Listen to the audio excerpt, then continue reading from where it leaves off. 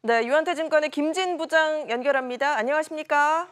네, 안녕하십니까? 네, 간밤에 미국 증시가 하락했음에도 불구하고 우리 시장 오늘 큰 변동은 없었던 것 같습니다. 일단 어, 전반적인 정리부터 해볼까요?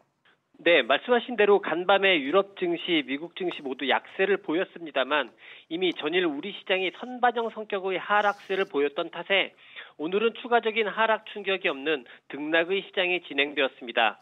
코스피 지수는 전일 대비 5.29포인트 0.24% 하락한 2158.88포인트에서 마감하였으며 오늘 상대적 강세를 보인 코스닥 시장은 전일 대비 6.79포인트 0.89% 상승한 765.95포인트에서 마무리되었습니다. 오늘 우리 시장은 전반적으로 정체의 형태를 보인 가운데 카카오는 다시 한번 신고가를 갱신하는 등 여전히 주도주군 중심의 주가 상승만 나타난 하루였습니다. 네, 카카오 외에 또 눈에 띄는 종목들 어떤 게 있었을까요? 네, 오늘 우리 시장의 가장 특징적인 종목이라 하면 제약 바이오 업종인 것 같습니다. 상장 이후 연일 강세를 보이던 SK 바이오팜이나 삼성 바이오로직스와 같은 대형주들은 오늘 전반적인 약세를 보였습니다만 대신 다른 제약 바이오 업종의 강세가 돋보였습니다. 오늘 제약 바이오 업종의 강세의 가장 큰 이유는 좀처럼 잡히지 않는 글로벌 판데믹 상황인 듯한데요. 연일 뉴스에서 보도되듯이 글로벌하게 보면 현재의 팬데믹 상황이 쉽게 해소되지 못하고 장기화되고 있습니다. 이 때문인지 오늘 강세를 보인 제약 바이오 업종은 주로 코로나 관련 종목들입니다. 진단키트로 코로나 확산 당시 강한 주가 상승을 보였던 시제는 최근 다시 강세로 전환되는 모습이며 오늘 강세를 통해서 52주 신고가를 갱신하였습니다.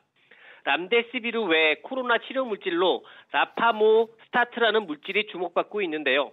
우리 SK케미칼이 이 물질과 연관이 높습니다. 그래서 SK케미칼 역시 오늘 다시 52주 신고가를 갱신하는 모습입니다.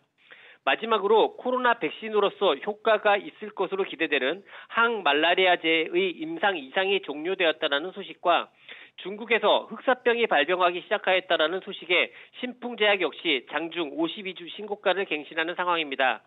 최근 SK바이오팜 덕분에 제약, 바이오 업종이 주목을 받았는데요. 오늘은 이전의 흐름과는 약간 결이 다른 제약 바이오 업종의 상승세가 있었다 하겠습니다. 이외에 오늘의 경우 거의 강세 산업이나 섹터를 찾기는 힘든 상황에서 최근 몇 번 말씀드린 바 있는 미디어, 엔터테인먼트 업종이 특별한 강세를 보였습니다. 며칠 전에도 말씀드린 바 있는데요. 최근 이 미디어 엔터테인먼트 업종의 강세는 팬데믹 상황의 유지에도 불구하고 최근 영화나 음반 시장에서 본격적인 재활동을 시작하는 경향 때문에 이들 미디어 엔터테인먼트 업종의 상대적 절, 절대적인 강세가 나타나고 있는 것으로 해석이 됩니다. 오늘 스튜디오 드래곤이 52주 신고가를 갱신하였습니다. 네, 좀 상승하는가 싶던 장이 다시 소강 상태로 바뀐 것일까요? 어떤 전략의 변화가 필요합니까? 네, 전일 우리 시장의 하락으로 그리고 글로벌 증시는 간밤의 증시 하락을 통해서 지수로 표현되는 증시의 재상승 가능성은 다시 축소된 것으로 판단이 됩니다.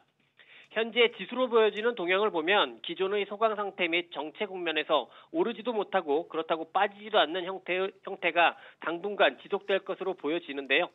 이런 지수의 소강 상태 재진입에도 불구하고 주도주군의 상승 추세는 오늘 카카오의 52주 신고가 추가 갱신에서 확인되듯 견조한 것으로 보여집니다. 그러므로 계속해서 특별한 전략의 변화보다는 주도주 중심의 압축된 포트폴리오 전략이 가장 유리해 보입니다. 네, 알겠습니다. 지금까지 유현타증권 김진 부장 연결해서 마감 시황 살펴봤습니다.